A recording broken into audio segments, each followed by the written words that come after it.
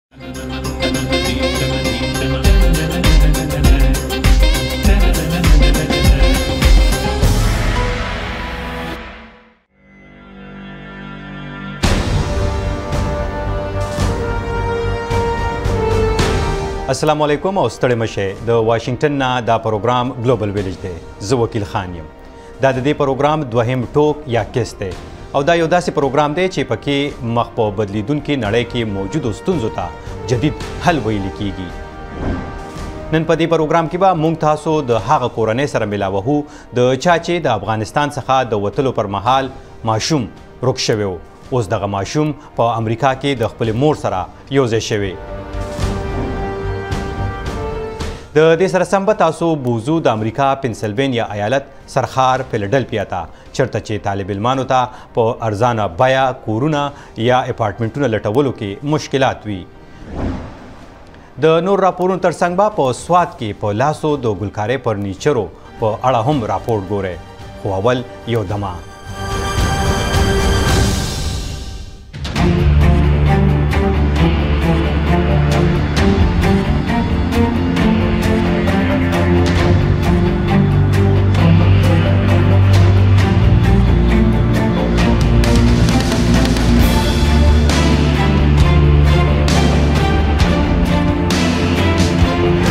د ډیوه سره اوسئ د دمیرستو استاسو راپورونو اړخ ته بوزو د امریکا پنسلوانیا ایالت سرخار پیلډلفیا د هغه خارونو په نوملړ کې په سر کې دی کوم چې تر ټولو زیات کالجونه او یونیورسټۍ لري خو هغه ځوانان چې دغلته زده کړې کوي د خپلو تعلیمي ادارو په شاوخوا کې په ارزانه بیه کورونه یا اپارټمنټونه لټولو کې مشکلاتو سره مخ دي هغه مشکلات څه دي راځي چې په دې ویډیوي راپور کې وګورو بجیها ویکس د خپلو زده کوونکو سره په سویمنګ پول کې وخت تیرول خوښوي. نولس کلنه لوبغاړه د فیلادلفیا ټمپل پوهنتون کې د زده کړو سره سره زده کوونکو ته لامبو ښایي. زه خپله ډله دلته راولم او بیا یې زه دننه بوځم. ویکس د درسي زده کړو کې ډېره تکړه ده، خو د زده کړو تر څنګ مبارزه هم کوي. د دې اپارتمان د شاوخوا شپږ زرو ډالرو د یو سمستر کرایه ده، کوم چې په رښتیا سره زه داسې احساس کوم چې د هغه څه ارزښت نه لري چې زه یې ترلاسه کوم. زه او زما د کوټې ملګري دواړه په جمع دا پیسې ورکوو. د دوو خونو او یو تشناب دغه کور ورته د مندر له خوا ګمارل شوی دی. دا خپل ټول مصرف په خپله کوي. د پوهنتون فیس نیمایي د سکالرشیپ د لارې او نیم د خپل کار د لارې پوره کړوي. وایي هڅه یې وکړه چې د پوهنتون سره نږدې واوسیږي خو هغلته د کور کرایې ګرانې وې. په فیلادلفیا کې اپارتمنټ کرایې په تیرو لسیزو کې پنځه ویشت فیصده لوړه شوې دي، ځکه هغې د کور کرایه ورکولو لپاره پنځه زره ډالر قرض واخیست. دا خپه کوونکې خبره ده. د قرضونو د لاندې په کمپس کې اوسیدل راته داسې ښکاري لکه ملنډې. د امریکا کې یوازینۍ دا نه ده چې د کرزو لاندې ده. د امریکا د کورونو او ښارونو ترقي ادارې تر مخه د ډېریو زده کوونکو لپاره ژوند لګښتونه ډېرېږي. سارا ګولډبریک په ټمپل پوهنتون کې د لوړو زده کړو پروفیسره ده چې د کورنیو د لګښتونو مطالعه کوي. مونږ اټکل کوو چې په هر دوه زده کوونکو کې نږدې یو د کور اخیستلو توان نه لري تر ټولو عامه خبره چې مونږ یې د یو زده کوونکي نه اورو هغه دا چې زه به په دې میاشت کې خپله کرایه نشم ورکولی دوی لازمه نه ده هره ورځ وخوري یا دوی نشي کولی هره ورځ ټولګي ته راشي دوی لازمه نه ده چې هره ورځ خوراک وکړي یا ټولګي ته راشي د کالج په اړه زموږ نظر دی چې زده کوونکي په بوټو کې پټ یو ودانۍ کې ژوند کوي دا معیار نه دی اوسني کالجونه او پوهنتونونو کې اوس دا کم لیدل کیږي تر دې حده چې د قام شاوخوا دولس څخه تر دیارلس فیصده زده کوونکي په حقیقت کې د کالج په کمپس کې اوسیږي. تیر کال سارا د هوپ سنټر فور کالج کمیونټي اینډ جسټس په نوم یو څیړنیز مرکز جوړ کړ چې د زده کوونکو تعلیم په لار کې موجود مالي خنډونو لار راوباسي. په ټیمپل کې د خوراک د کمي ښکار زده کوونکو سره مرستې کیږي او د پوهنتون یو ټیم هغه زده کوونکو سره مرسته کوي چې د اوسېدو لپاره د کورونو کې ورته ستونزه وي. موږ بیا د دې جوګه شو چې زموږ د مشورو د مرکز سرچینو سره د دوی ملاتړ وکړو. د یونیورسټۍ په ودانۍ یا کمپس کې په ارزانه بیه کورونه نیول نه پیدا کیږي. سارا وايي، کالجونو او پوهنتونونو چې د بجټ کمېدو سره مخ دي، دوی خوراک او اوسېدل ته د ګټې په نظر ګوري. که تاسو هستوګنې ته د ګټې یو مرکز په نظر کتل پیل کړئ، نو تاسو به زده کوونکو باندې کرایې نورې هم زیاتې کړې، ځکه چې تاسو یې کولای شئ. بله خبره دا ده چې د ښوونځیو مخ په ډېرېدو، شمېر واقعاً هڅه کوي د یو ځانګړي ډول زده کوونکي او کورنۍ ځان ته متوجه کړي، دا یوه داسې کورنۍ وي چې خورا ډیر د مصرف څخه زیات آمد لري او دا یوه داسې کورنۍ وي چې لږ مالي مرستې سره به ډیره زده کړې ورکړي. نو د زده کوونکو رهایشي هالونو د پخوا په پرتله لوی دي، سهولت هم کافي دي. دا د کمپس څخه بیرون کیسه ده چې د نوي او ښې ودانۍ و شتمنو زده کوونکو ته ورکول کیږي. هر څوک دا تجربه نه شي ترلاسه کولای. په فیلادلفیا ښار کې له څلورو کسانو ځه یو تن د غریبۍ تر کچې لاندې ژوند کوي. دا د هېواد په ټولو ښارونو کې د کالجونو او یونیورسټۍ په نوملړ کې په دویم نمبر دی. ځکه ارزانه بیه کورونه لټول ګران وي. د ښار ځه یوازې څو قدمه لري شپږ ویشت زره زده کوونکي د فیلادلفیا کمیونټي کالج کې زده کړې ترلاسه کوي. هر څه، زه د دې په ویلو نه شرمیږم، سرپناه، سوفا، انلاین لټون او دا هغه شیان وو چې زه یې ترسره کولو ته مجبور وم. تامز د هغه کسانو څخه دی چې اوسیدو ځای نه لري، کار کوي خو وایي نسي کولای چې اپارتمنټ ترلاسه کولو لپاره پیسې بچت کړي. زیرمه غیر یقیني ده، زیرمه د کرایې درې چنده ده، حتی زه نشم کولای چې له کار څخه هم د یو وخت کرایه جمع کولو هڅه وکړم، دا بیخي عملي نه ده. په یو زوړ کانوینټ کې یو نوی پروګرام. هیله ده د تامس په شان د نورو زده کوونکو سره مرسته وکړای سي. نو دا به یوه عادي کوټه وي. زده کوونکي به په بشپړ ډول بسترونه، میزونه، جامې ولري او دا ټول د ګډ تشنابونو سره خپل ګډ سینک ولري. سانډرا ګلوري د ډیول یو اس آی د فلډلفیا رئیسه ده، یو غیر انتفاعي اداره چې بې کورۍ تمرکز کوي. دوی پلان لري چې د کانوینټ بیا جوړ کړي چې د فلډلفیا په اوږدیو کې د کالجونو څلرویشت زده کوونکو ته پکې ځای ورکړی سي. دوی ډیر د زده کوونکو د قرضې پروګرامونه لري او که دوی نن له ښوونځي څخه وویستل شي نو دوی به هم دا قرض په سر لري او هیڅ ډګري به نه لري او دا به د دوی لپاره ډیره بده وي که دوی هیڅکله ښوونځي ته لاړ نشي. اوولس زره ډالر هرکال به د زده کوونکو ترمنځ ووېشل سي. که موږ کولای شو چې د دوی تعلیم پوره کړو، هیله ده چې دوی به بیا هیڅکله د بې کورۍ په اړه اندېښنه ونه لري. غربت د دوی ماشومان به په دې اړه اندېښنه ونه لري. د هغې برخې لپاره د ټیمپل بدیعه ویکس تمه لري چې په دې سمسټر کې په سویمنګ کې ډېر ساعتونه تېر کړي، نو هغه کولای سي چې په راتلونکي سمسټر کې د استوګني بل قرض په سر وانه خلي.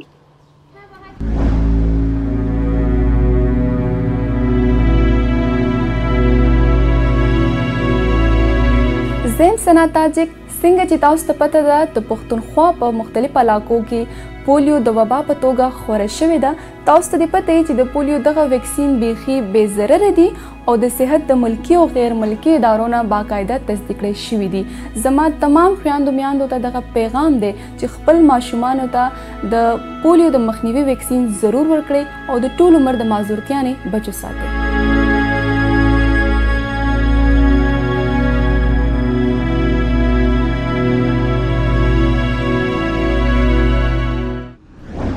په بنگله دیش کې د خلکو د مخالفت او د ځینې مذهبي مشرانو د ناخوښۍ باوجود هم ډېرې جینکې په اوبو د سرفنګ لوبه زده کوي او غواړي په دې لوبه کې ځان له نوم او مقام جوړ کړي د ځینې سرفنګ کوونکو جینکو کورنۍ هم د هغوی په دې شوق خوشاله نه دي خو دغه جینکې د ډېرو خنډونو پس هم په اوبو سرفنګ کول غواړي د نړۍ د تر ټولو لوی ساحل په بنګله دیش کې دی او هغه هم د دغه ملک یوازینی ساحلي ښار د کاش په سیمه کې موقعیت لري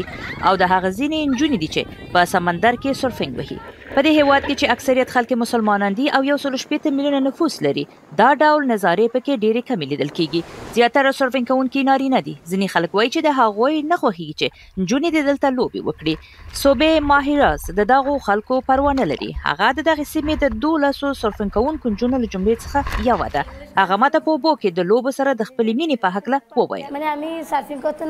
زما ملګري په اوبو کې لوبې کوي. کله چې زه د یو لوی څپې سره مخامخ شم او لاړه شم پرې، نو زه ډېر ښه احساسوم. هم له دې کبله زما سرفنګ ډېر خوښ دی. خلک چې ما وویني، نو وايي، ډېر ښه! ما د اوبو د یو لوی څپې باندې سرفنګ وکړو. هر څوک په ساحل زما ننداره کوي، هر څوک مې ستایي، خو بیا ځینې داسې هلکان دي چې هغوی بدې خبرې کوي. هغوی ما نه پېژني. خلک په دې نه پوهېږي او خبرې کوي. زیاتره بنګالیان دا کار نه خوښوي. خلک په دې نه پوهېږي او خبرې کوي او زیاتره بنګالیان دا کار نه خوښوي. په دغه سیمه کې د اسلام سخت دریزو له بریدونو څخه وروسته دغه نجونو ته هم ګواښونه شوي دي دلته په یوې نږدې مدرسه کې چې غیر دولتي مؤسسې ورسره مرسته کوي په دغه مرسته کوونکو کې یو شمیر بهر میشته کسان هم شامل دي یو امام چې هلکان ته د قرآن او اسلام درس ورکوي نو بیا په اسلام کې د میرمنو کردار څه دی په اوبو کې د لوبو په اړه زه دا وایم چې دا ښه خبره ده نجونې باید خپل بدن پټ وساتي چې هلکان یې ونه ویني نجونو ته دا ویل شوی دی چې هغوی د هلکانو د نظر نه ځان لري وساتي نجونې د درناوي وړ دي او هغوی ته دا امر شوی دی چې په پرده کې ووسی نو که نجونې ساحل ته ورځي نو ډیر خلک به وویني نو دا ګناه ده دا ښه خبره نه ده دوی ازادي لري دوی ډیر څه کول خوښوي دوی ژوند لري په بنگلاديش کې مېرمنې څه کوي دوی ودونه وکړي او په کور کې کینی دوی ټول ژوند داسې تیروي د کور د باندې ډیر څه د کولو شته دي هله ما پرېږدي تاسو چې څه کوئ هغه ډیر د ستاینې وړ دي تاسو زموږ ملک ته ښه نوم ورکوي زه خو یوازې دا غواړم چې د دوی په مخونو مسکا ووینم د شومه مور د خپلې لور په پرمختګ باور لري. زما لور سرفنګ کوي او زه په دې ډېره خوشحاله یم. زموږ ژوند روان دی، که خدای غواړي، نو زما لور به ډېره مخکې ولاړه شي. دا د څلوېښت او پنځوس کلونو پورې سرفنګ کولی شي. ښه لوبه دې وکړي او بهر ملک ته دې تللی شي. په دې سیمه کې غربت ډېر زیات دی او په ماشومتوب کې ودول هم زیات دي. په دې سیمه کې د درېیو نه یوه نجلۍ د پنځلسو کلو نه په کم عمر کې ودېږي. د صوبې مور اختر په خپله د دیارلسو کلو په عمر واده شوې ده. هغه خپلې ټولې لوڼې د دیارلسو کلونو له عمر نه مخکې واده کړې دي، خو صوبې یې نه ده واده کړې. د هغې مېړه په نېشو روږدی دی او هغه یوازې سر د خپلې کورنۍ مسؤلیت په غاړه لري. هغه د خپلې لور د سرفنګ نه خوشحاله نه ده. که هغې دنده لرله نو دا به زموږ لپاره ښه وه. زه ډېره ناروغي لرم. زه داسې څوک نه لرم چې ماله درمل راوړي. زه په کور کې یوازې یم. یو ښځه باید د بلې ښځې په مشکل پوه شي. دا پخپله هم ښځه ده او دا ما ډېره کړوي. سوبه په خپل کورنۍ کې وزنې ناواده شوی پیغله ده کله چې هغه سرفنګ نه کوي هغه د خپل مور سره کومک کوي د مور په ناخوښۍ برسیره هغه د سرفنګ د کلنۍ مسابقې ګټلو ته هم ژمنه ده او نن هغه مهمه ورځ ده چې سوبه او نورین جونې به سبا 15 بجې ساحل ته روان شي چې د مسابقې لپاره تیاری ونیسي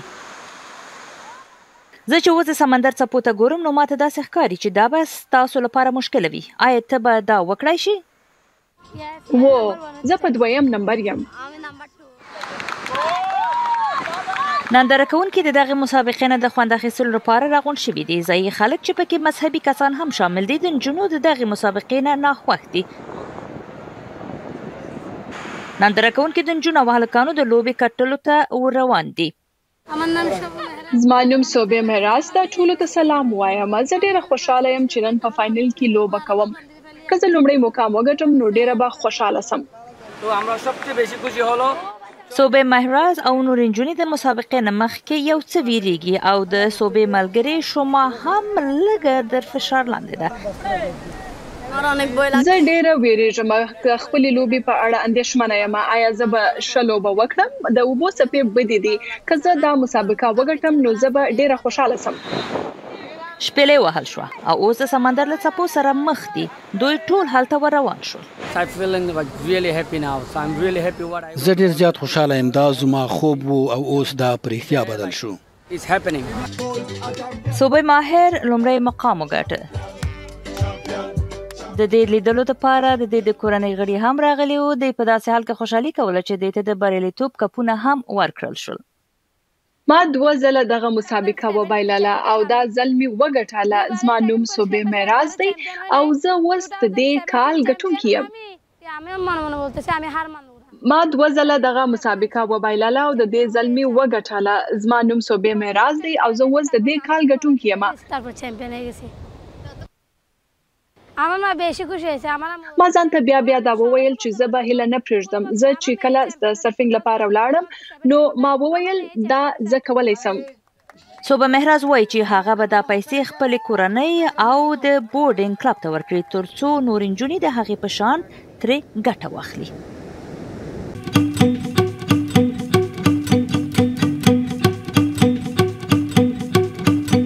ویو ډیوا په سټلایټ ټي وي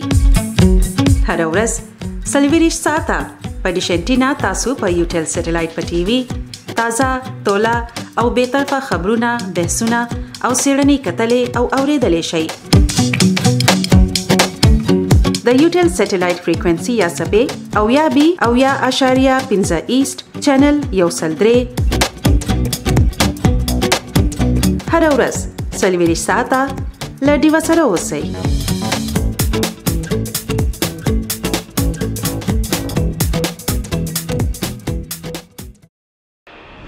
د ټکنالوژۍ په نړۍ کې چې د تیزۍ سره کم بدلون هر ورځ لیدل کیږي د دې په حساب سره ماهرین وايي، ډېره ضروري ده چې ماشومانو ته د وړوکوالي نه د دې زده کړه ورکړی شي او په دې لړ کې کمپیوټر کوډینګ ډېر اهام دی. د ورجینیا په یو سکول کې ماشومانو لپاره د کمپیوټر کوډینګ د زده کړې پروګرام شروع کړی شوی دی او د ماشومانو سره سره د دوی مور پلار هم ترې مطمئن ښکاري. دا له جادو، د بوډۍ له ټالونو، شاپېرکو او نورو په زړه پورو شیانو ډک یو خالي آس دی. Code to the Future د امریکا په کچه له کمپیوټر ساینس سره د آشنايي یو پروګرام دی چې د ورجینیا د لاوډن ولسوالۍ په یوې لومړنۍ ښوونځي کې ماشومانو کمپیوټري کوډونه یا کوډینګ ور زده کوي. جاشوا جانسن د دغه پروګرام ښوونکی او تعلیمي نصاب مسؤل دی. زموږ عمومي هدف دا دی چې زده کوونکو ته د ښوونې په لومړیو پړاوونو کې تر پنځم ټولګي پورې دغه پروګرام وړاندې کړو. چې د کمپیوټري کودونو او کمپیوټر ساينس سره د دوی علاقه زیاته شي او دوی ته په راتلونکي کې د کمپیوټر ساينس په برخه کې د کار زمینه پیدا کړو. د راوند هیل په لومړني ښوونځي کې ماشومان د اپیک بلډ نایټ په نامه مراسمو کې چې د زده کوونکو کورنۍ او ملګري ورته رابلل شوي وو د کمپیوټري کوډونو د جوړولو خپلې لومړنۍ تجربې نندارې ته وړاندې کړې. یو حقیقت دا دی چې موږ نشو کولای یو ډول کارونه په دوامداره توګه په یوې طریقې سره ترسره کړو او له خپلو زده کوونکو تمه لرو چې د راتلونکي لپاره چې دوی ته انتظار ده ډېر چمتو واوسي. زما لپاره کوډینګ یو پای ته نه رسیدونکې نړۍ ده چیرې چې تاسو یو شی ته په ډیرو زیاتو ترکیباتو سره بدلون ورکولی سئ چې نوي ویډیو ګیمونه جوړ کړئ د ميډلرينګ د لومړني ښوونځي مدير هرمن مايزل وايي، د کوډينګ مثبت تاثير په زده کوونکو باندې له ښوونځي بهر هم ارزښت لري. د دې لپاره چې خپل زده کوونکي دې ته چمتو کړو چې په نړۍ کې خپله لاره پيدا کړي او هم د نړۍ په کچه له نورو سره سيالي وکړي، موږ غواړو چې زموږ زده کوونکي کوډينګ زده کړي او په دغې تجربې سره سمبال وي. زده کوونکې کيټ ټيلر او زينډر بوش وايي، کوډينګ ډېر په زړه پورې دی. د نورو ډیرو دندو لپاره په کار راځي زه فکر کوم که چیري کومه ورځ زه داسي یو دنده ولرم چي کوډ کول پکي نه وي بیا هم غواړم چي د کوډ کولو استعداد ولرم. زه فکر کوم چي د شهرت لپاره نه زده کوم بلکه دا هغه رشته ده چي زه ورسره مینه او شوق لرم. د راونډ هیل په لومړني ښوونځي کې عمري فالکنز په خپل زوی باندې د کوډینګ د پروګرام مثبت اغیزې لیدلې دي. په داسې یو چاپیریال کې چې د زده کړې په پروسه کې د ټولو ګډون اړین دی، د نویو شیانو په زده کولو سره تاسې وینئ چې زده کوونکي په کې د رهبرۍ مقام ته ځان رسوي. د ښوونځي مسؤلین وایي په دغه پروګرام کې د زده کوونکو ګډون د دوی لپاره بې شمیره ګټې لري. ماشومان اړتیا لري چې خپل نظر او فکر څرګند کړي زما لپاره کوډینګ دغه فرصت برابروي که غواړئ چې زده کوونکي مو په نړیواله کچه سیالي وکړي که غواړئ چې زده کوونکي مو په نړۍ کې لارښوونکي ووسی نو کوډینګ یې ډیر ښه پیل دی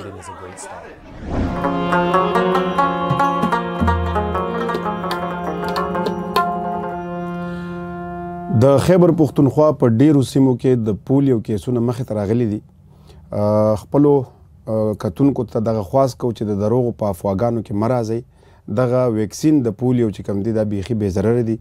د صحت د نړیوالې ادارې او د قامي ادارې نه تصدیق شوي دي. تاسو کولای شئ چې خپل د پنځه کالو نه کم ماشومانو ته دغه واکسین وکړئ او د ټول عمري مرض نه خپل ماشومان بچ وساتئ.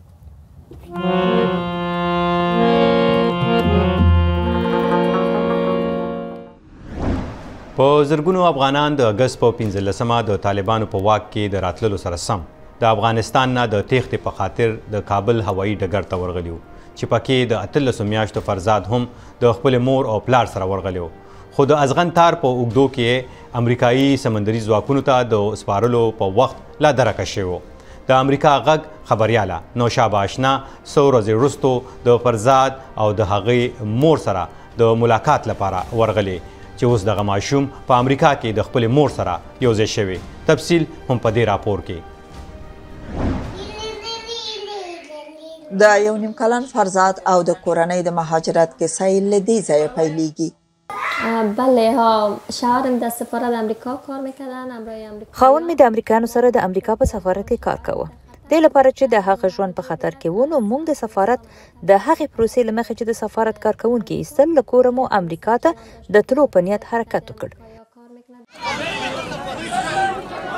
د فرزاد د مور په وینا کله چې دوی میدان ته ورسېدل وضع ښه نه وه ماشومانو هم ډېره نارامي کوله لمر ډېر تیز و ماشومانو ژړل په همدې وخت کې د بهرنیو ځواکونو پام شو او له دوی نه یې د ماشومانو د خوندي تېرولو غوښتنه وکړه.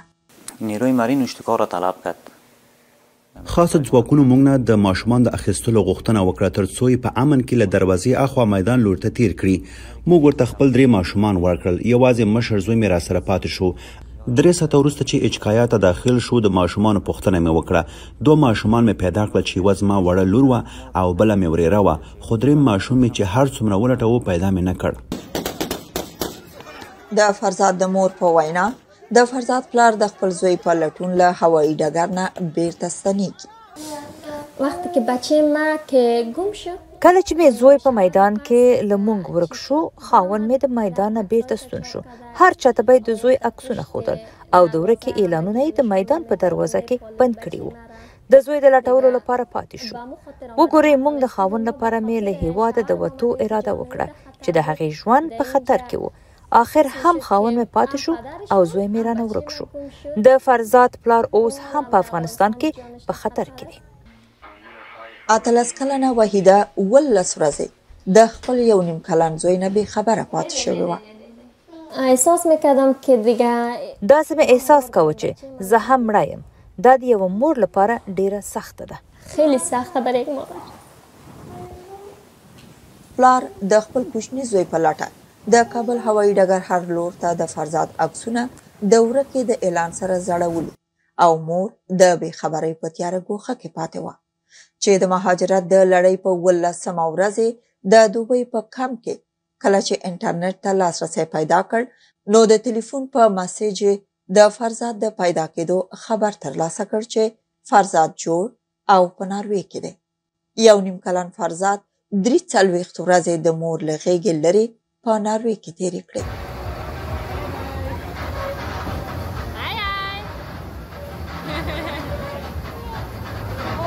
وقتی که ما د امریکا رسیدیم کله چې موږ د امریکایانو کمپ ته راغلو نو زوی مې د ناروې نه راته راوست خو کله چې خلکو ولیدم زوی راته نه راکوه ویل چې ته ډیره وړی دا زوی ستانه دی بیا یې زما او زما د زوی ډي ان اې معلوم کړه او چې مطمئن شول بیا یې زما زوی راکړ دردونکې خدا و چې زوی مې ماته نه راته یو د بیګانګۍ احساس کاوه د کار ډیره زورولې وم چې ولی می زوی زهیره کړی يم بل دا چې فرزاد زما شودې خوړلې زه خفه وم چې ولی می زوی زما له شیدو محروم شوی و ډیره سخته وه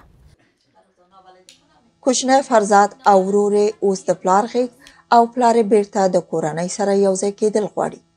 د فرزاد مور هم ورته هیله لري بعد امریکا تشکری میکنم که بچه ما پیش فامیلش د امریکا څخه مننه کوم چې زما زوی خپل مور ته ورسو اوس زه مې کورنۍ پسې خفه یم هغوی ما او زه هغوی ته ضرورت لرو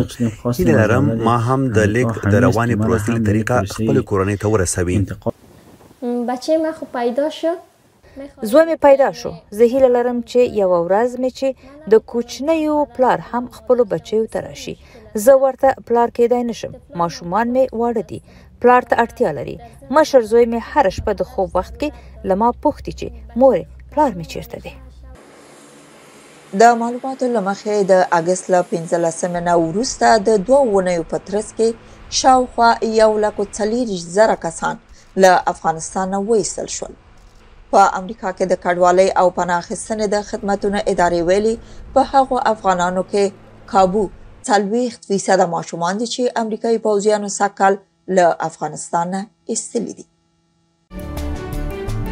د ډیوې لیدونکو تاسو د ډیوې ویب پاڼه په خپل موبایلونو کې د ان ټي ایچ لینک اپ د لارې خلاصولای شئ د دې طریقه به تاسو وخایو چې تاسو په آیفون او په انډراید فون باندې څنګه کولای شئ چې داغه اپ ډاونلوډ کړئ او له هغه ځای څخه د ډیوې ویب پاڼه وګورئ د ان ټي ایچ لینک اپ ډاونلوډولو لپاره که تاسو سره آیفون وي نو تاسو خپل اپل سٹور پرانځئ او که له تاسو سره انډراید فون وي نو تاسو ګوګل سټور پرانځئ له هغه وروسته لټون کې ان ټي ایچ لینک ولیکئ او دغه اپ ډاونلوډ کړئ په دویم پړاو کې د آی اګری تڼۍ کېکاږئ او بیا د پلګ لاندې د کنیکټ تڼۍ کېکاږئ او په دریم پړاو کې بیا د اوکې تڼۍ یا بټن کېکاږئ. له کنېکټ کېدو وروسته تاسو د دې ویب پاڼه پرانیزئ او د خپلې خوښې خپرونې وګورئ. او له هغه ځایه تاسو کولی شئ چې د خپلې خوښې ټول پروګرامونه، رپورټونه او لیکنې ولولئ او وګورئ.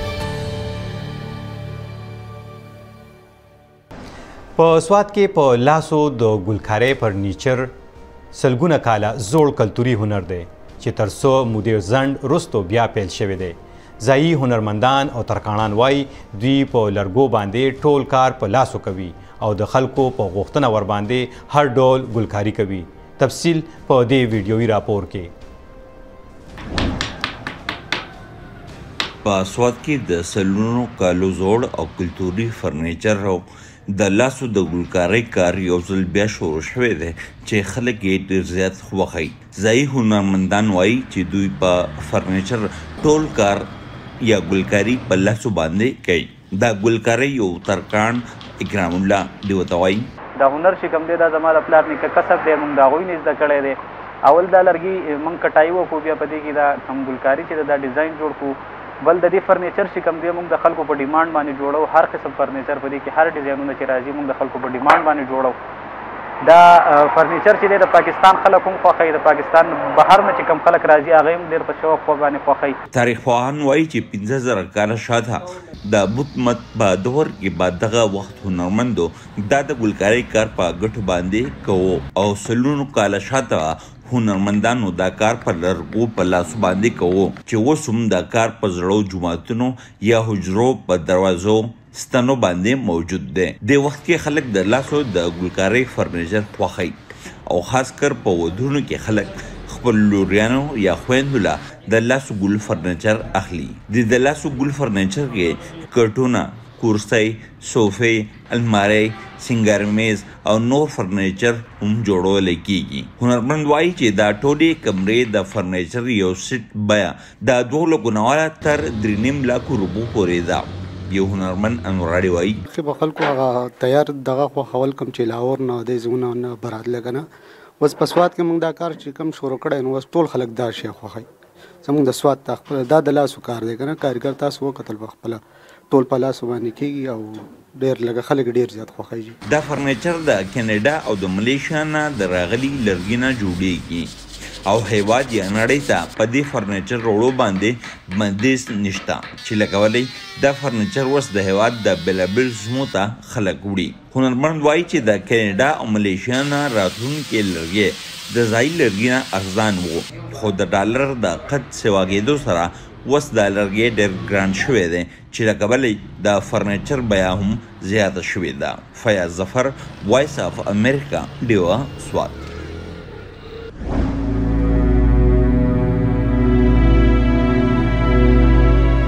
بسم الله الرحمن الرحیم. تاسو ټول ته پته ده چې پولیو یو ډیر خطرناک مرض دی او زمونږ د آینده نسل د ماشومانو د صحت لپاره ډیر نقصان دی دی علماء کرام فتوا ورکړې ده او اسلامی نظریاتی کونسل د هغه فتوی توثیق کړې ده چې شرعي تور دا ضروری دي چې موږ خپل ماشومان ته پولیو قطرې ورکو